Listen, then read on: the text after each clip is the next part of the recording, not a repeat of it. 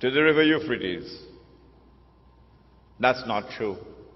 The Quran proves that that is false.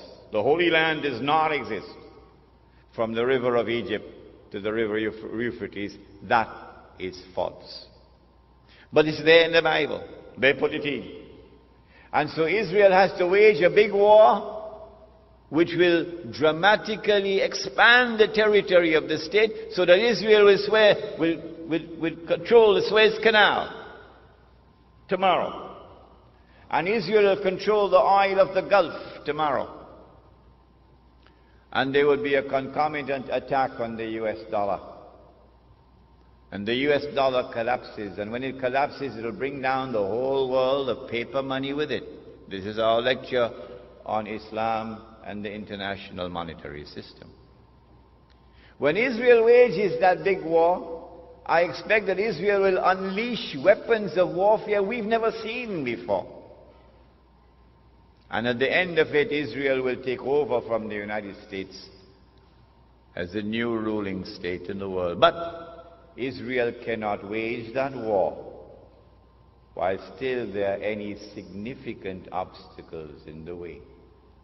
And now put on your thinking caps. Which is the most significant obstacle which still stands in the way of Israel waging her big war? Is it a man named Osama bin Laden and his men hiding in caves in Afghanistan? Is it that blue-eyed stooge of the Yankee a man named Saddam Hussein? Are they significant obstacles in the path of Israel? Is it Taliban in Afghanistan? Wake up. None of these are significant obstacles in the path of Israel. Israel has one major obstacle in its way that must be removed before Israel can wage that big war. And it is Pakistan's nuclear weapons capacity.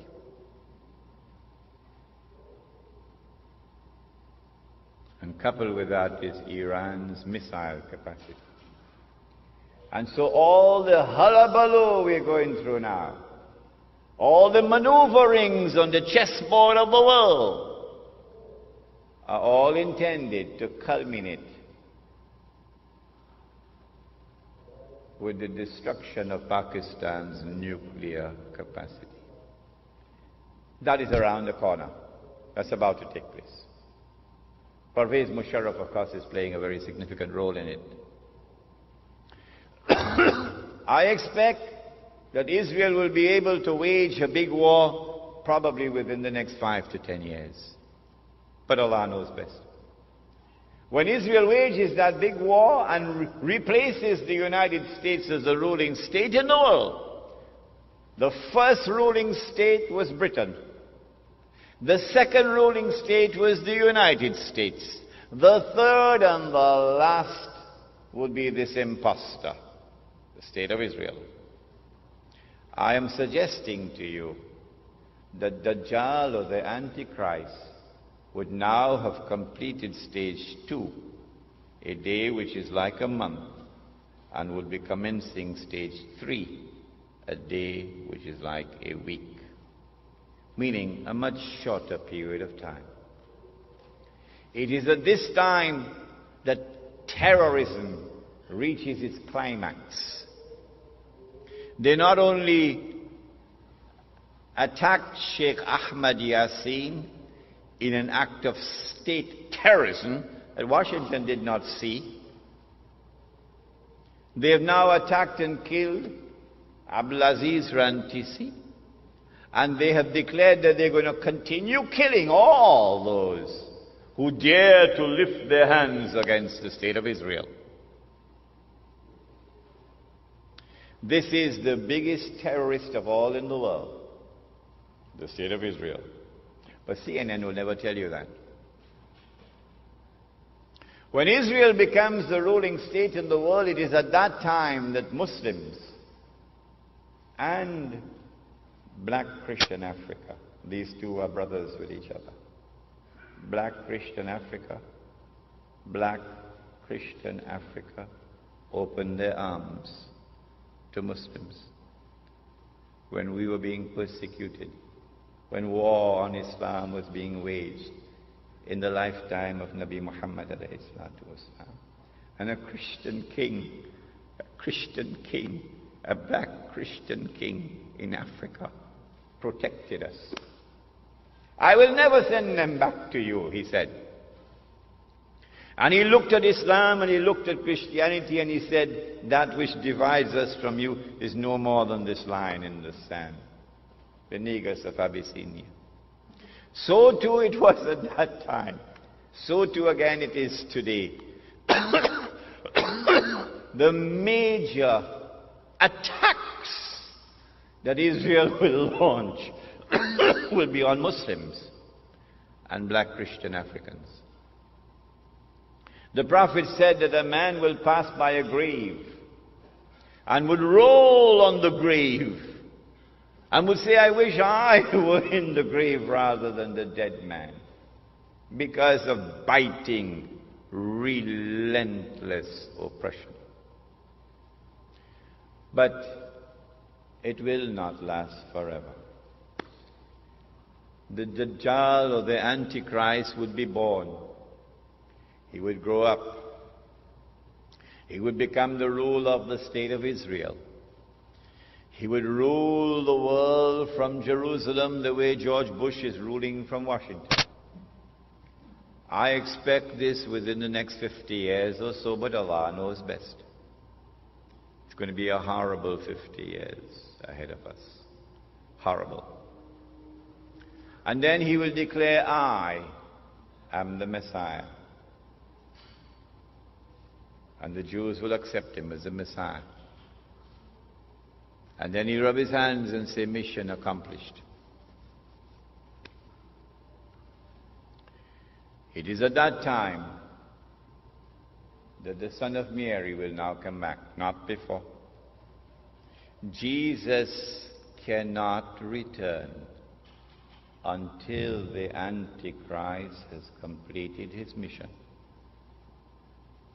the Christians of this country would do well if they would come to Islam so that Muslims can explain to them the subject of the Antichrist as it has been explained to them today, as never before explained to them. Jesus cannot return until the Antichrist has completed his mission. The Antichrist has completed almost two thirds of his mission, but there's one third still remaining. At that time, the Son of Mary comes down. And the true Messiah now kills the false Messiah. And then Allah subhanahu wa ta'ala will destroy Gog and Magog, and that's our next lecture, inshallah. So you've got to come back next month. and then said the Prophet Muhammad والسلام, just listen to these two hadiths and we'll be finished. He said, when you see the black flags coming from the direction of Khorasan, Afghanistan is part of Khorasan. He said, go and join that army. These are two ahadiths combined here. Go and join that army even if you have to crawl over ice. These are his words. Go and join that army, even if you have to crawl over ice. Because no one will be able to stop that army until it reaches Jerusalem. And so go back home today with joy in your hearts even while there are tears in your eyes for the immense suffering through which we are going. Go back home with joy in your heart that there is a tomorrow which is coming in which a Muslim army will liberate the Holy Land. The Prophet said, لَتُقَاتِلُنَّ الْيَهُودِ You will most certainly fight the Jews. That's clear. Look at what they're doing today. وَلَا تَقْتُلُنَّ وَمَنْ You will kill them. You will be victorious. These are his words. حَتَّى يَقُولُ الْحَجَرُ At that time even the stones will speak.